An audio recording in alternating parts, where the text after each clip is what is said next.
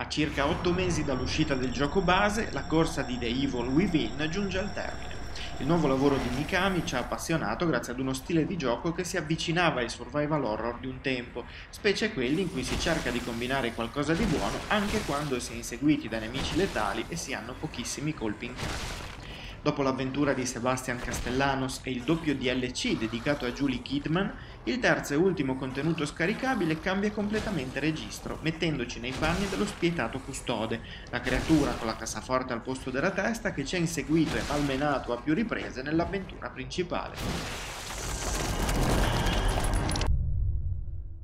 La storia narrata dovrebbe far luce su chi sia realmente questo pericolosissimo avversario, ma bisogna ammetterlo, non è nulla di che. Se due precedenti DLC si incrociavano con avvenimenti visti nel gioco base, portando avanti una sottotrama impreziosita anche da cutscene interessanti, nel DLC The Executioner non c'è nulla di tutto questo. Attraverso un unico breve filmato iniziale scoprirete che il custode altri non è che un padre che ha perso sua figlia dentro allo STEM e che dovrà affrontare l'orrore per portarla in salvo. Si incarnerà dunque proprio nel temibile custode, intenzionato più che mai a farsi largo verso il suo obiettivo, brandendo il suo fedele martellone. La storia sarà dunque portata avanti attraverso i classici file testuali, ma servirà più per raccontarvi quello che vi aspetta, piuttosto che approfondire il particolarissimo protagonista. Come potrete immaginare, il gameplay finora conosciuto subisce un grande cambiamento di rotta, passando dallo stealth assoluto di The Assignment e The Consequence fino ad una sorta di picchiaduro in cui dovrete affrontare i peggiori orrori senza tante strategie.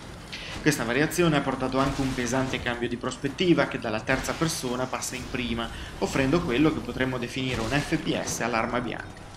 L'avventura inizierà in una villa che chi ha finito il gioco base avrà già visitato, ma che in ogni caso non potrà che portarvi alla mente il primissimo Resident Evil. Al di là del colpo d'occhio si nasconde un gameplay estremamente lineare che per molti versi divide l'avventura in 5 differenti stage, rappresentati da altrettante zone della casa.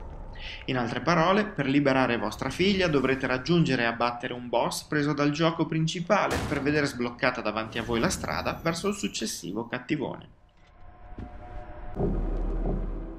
L'eliminazione dei nemici vi frutterà frammenti di memoria, ossia monete che potrete spendere nel relativo macabro negozio per migliorare le vostre abilità e per comprare ulteriori armi. Queste solitamente vanno sbloccate uccidendo il boss che le brandisce, ma in seguito potrete migliorarle tramite la valuta in game. Oltre agli stage standard, poi sono presenti anche alcune sfide extra che potrete ripetere quante volte vorrete e che metteranno in scena anche parti di scenario in cui lanciare i malcapitati nemici. Il suo voler essere un arcade frenetico ed estremamente viscerale, in tutti i sensi, porta però a un rovescio della medaglia non indifferente. Terminare l'avventura la prima volta non richiederà più di un'ora e mezza. La nostra partita infatti ci ha visto trionfare sugli avversari in quel tempo, facendoci morire solo una volta contro l'ultimo boss. Abbiamo affrontato più volte alcune sfide per raccogliere denaro e potenziarci, ma nonostante questo siamo arrivati al capolinea in 90 minuti circa. Per quanto mi riguarda, però, in quel tempo mi sono divertito parecchio nel vestire i sudici panni del custode, vendicandomi a più riprese contro tutte quelle creature che nel gioco originale mi avevano fatto sudare sette camicie.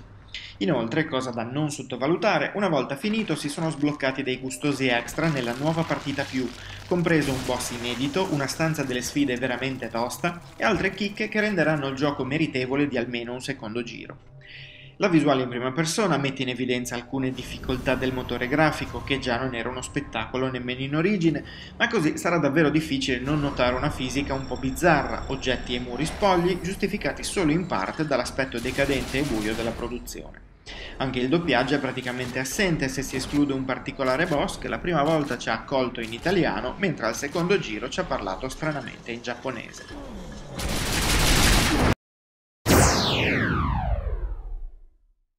The Executioner è un prodotto sicuramente migliorabile, ma a conti fatti risulta genuino se lo si guarda con gli occhi di chi ama i giochi arcade.